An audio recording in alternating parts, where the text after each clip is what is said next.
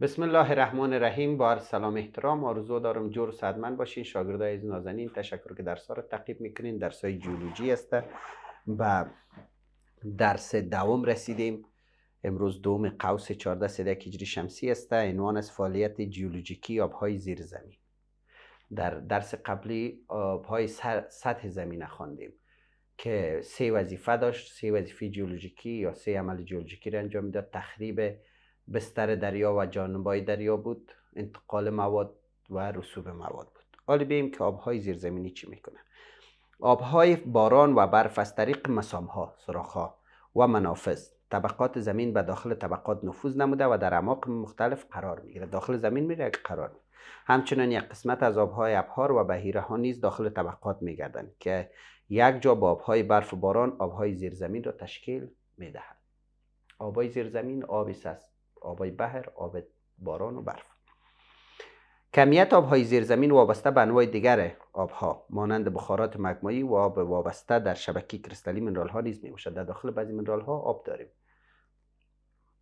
مثلا دگش دو مولکول آب ما شما داریم. یا فرض مثال دنیل توت یا پنج مولکول به ترتیب. اما آبهای اخیر ذکر هیچ فعالیت جیولوژیکی را انجام آب کریستالی هیچ فعالیت جیولوژیکی نداره بند است در بین کریستال.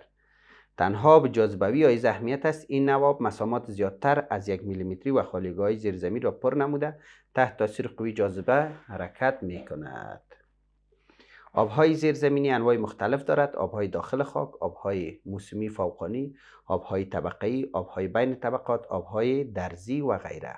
بعضی سوال می‌کنه آبهای داخل آبهای زیرزمینی نام ببرین. میگه آبهای داخل خاک است آبهای موسمی فوقانی است آبهای طبقه است آبهای بین طبقات است و آبهای درسی است. از جمله انواع مهم آبهای زیرزمینی محسوب میشن. آبهای زیرزمینی نیز مانند آبهای سطحی فعالیت جیولوژیکی دارند. اینا هم یک فعالیت دارند و عمل تخریباتی را انجام میدن آب زیرزمینی در مسیر حرکت خود سنگ ها را شستشو نموده و مواد تخریب شده را با خود انتقال می‌داد که بعدا مواد منحله در خالیگاه های زیرزمینی باعث تشکیل سنگ ها و منرال ها می‌شود.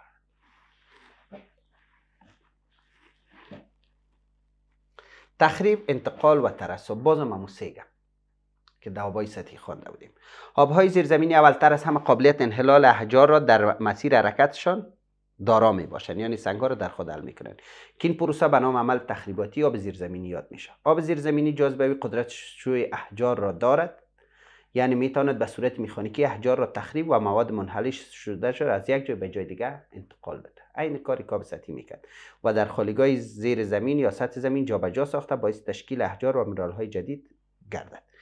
پروسه کاری و شستشوی ذرات گرد مانند گرد مانند از جمله پیدای جیولوژیکی است که با فعالیت های زیرزمینی ارتباط دارد. علاوه بر آن آبهای زیرزمینی در عملیات دیگر از قبیل لغزش گلفشان ها فرسایش یخبندی های دائمی سهم بارز دارد این با سوال می‌کنه که آبای زیرزمین در دیگه فعالیت ها چیست کدام فعالیت ها را داره؟ در لغزش سهم داره. زمین لغزش می‌کنه در گلفشان ها در ترکیب ساختنشان در فرسایش و در یخبند در اینجا سهم داره.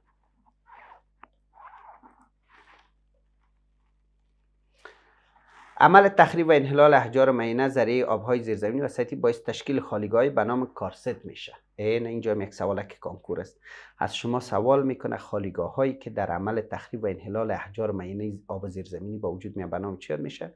شما جواب میتین به نام کارست یاد میشه.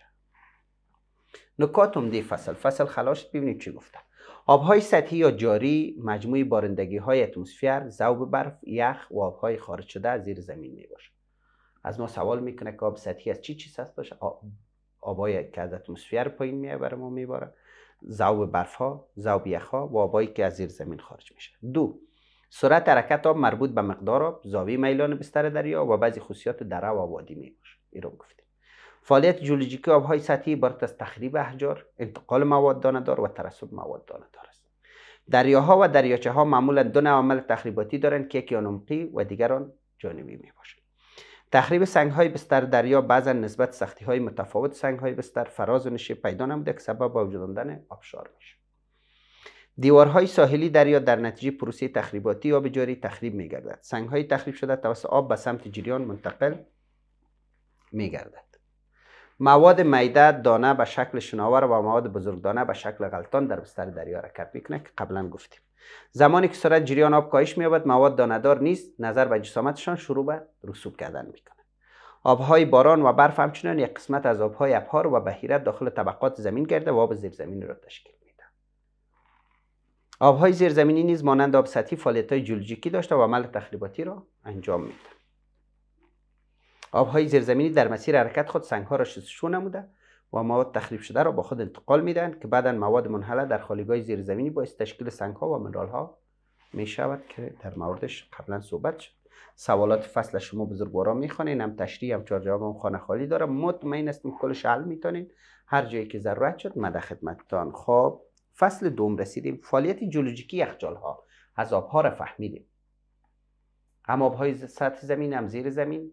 که سه وظیفه داشتن تخریب انتقال رسوب. حالی بیم یخچال ها رو ببینیم چه فعالیت می‌کنن اولش خب می‌فهمیم یخچال ها یک منبع خوب آب در موسم های غیر بارندگی است. در وقت بارندگی خواب است. وقتی نمیباره منابع آب از کجا میشه از یخچال ها با شنیدن اصطلاح یخچال سوالات گوناگون برایتان پیدا می شود که یخچال چیست چگونه شکل می‌گیره چگونه فعالیت جیولوژیکی داره آیا در کشور ما یخچال وجود داره یا خیر؟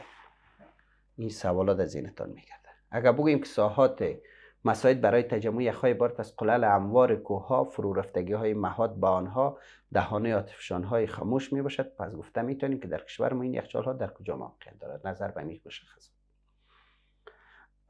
مثلا بعضی کوه ها طرف سالنگ می‌بینید که دوازده ماه سال پر برف است یخچال ها دارد همچنان می‌خواهید بدانید که یخچال بزرگ در کدام نقاط جهان موقعیت دارد. مثلا قطب شمال.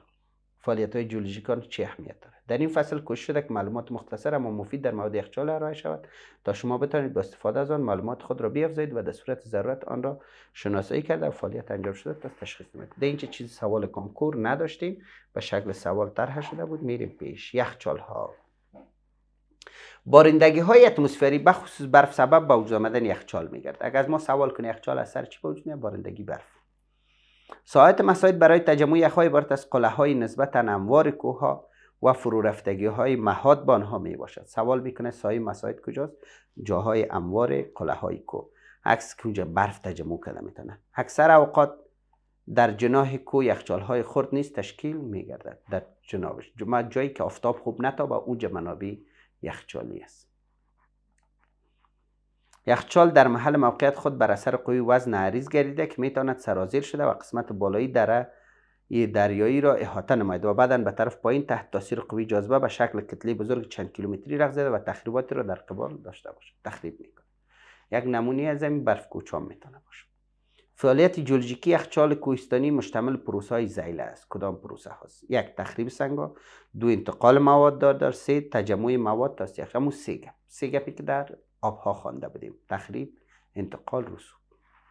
رسوب خودش هم تجمع است اول میم سر پروسی تخریب. هنگام حرکت یخچال ها برای دره ها پروسی تخریب صورت می‌گیره. یخچال که حرکت می‌کنه همراه خود سنگا را تخریب می‌کنه.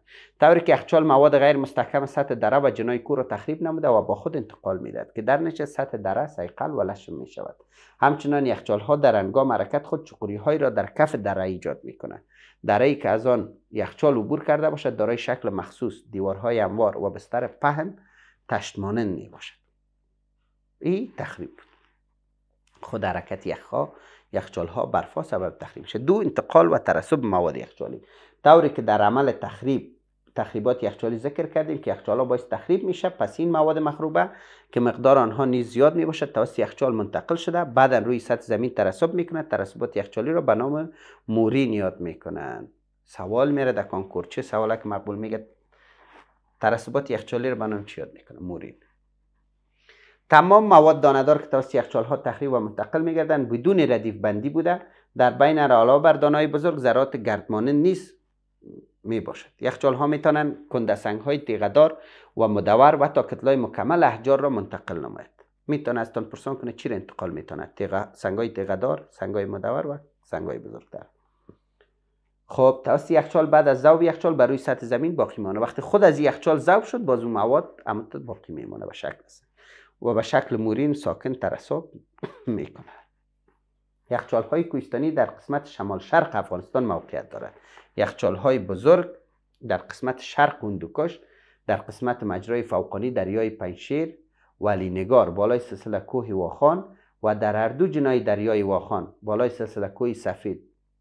خرس بدخشان موقعیت دارد اهمیت عملی یخچال های افغانستان در این است که بسیار دریا قسمت شمال شرقی کشور از آن تغذیه میشه دریا به خود از کجا می‌کنه؟ از این یخچال ها در جریان سال به ترتیب با گرم شدن موسم یخچال ها ذوب شده میره و آب بر ما ایجاد میشه. دریای ما به این خاطر افغانستان اون یک کشور دارای آب و آب افغانستان چنان ارزشمند است که اگر تنها آب ما خوب مدیریت شود می‌تونیم ما امرایش یک شکم نان سیر بخوریم. نکاتم دی فصل. بارندگی های اتمسفر بخصوص برف سبب با وجود آمدن یخچال میشه. برف سبب یخچال میشه. باران معمولا یخچال ها رو تخریب می‌کنه. ساعات مساعد برای تشکیل یخچال عبارت از قلل اموار کوها و فرو رفتگی های مهاد بانها می باشد عمل جیولوژیکی یخچال مشتمل پروسه های زیل است. تخریب سنگ انتقال مواد ترسب مواد. یخچال ها مواد غیر مستحکم سطح دره و جناهای کوه را تخریب نموده و با خود انتقال می‌دهد. دره که از آن یخچال عبور کرده باشد دارای شکل مخصوص دیواره انوار بستر پهن شده تشت مانند را می داشته باشد. مواد منتقله توسط یخچال ها بالاخره در سر زمین ترسب نموده و ترسبات یخچالی به نام مورین یاد میشه یخچال های کوهستانی در قسمت شمال شرق افغانستان موقعیت دارد اهمیت عملی یخچال های افغانستان در این است که بسیاری دریای افغانستان را تغذیه می‌کنه فایدهش یکی از خوبترین فایدهش این است که هیچ وقت بی آب نمیمانیم سوالات شما مرور می‌کنین دوستای نازنین و هم سوالات تشریح هم چهار جوابه را حل می‌کنین.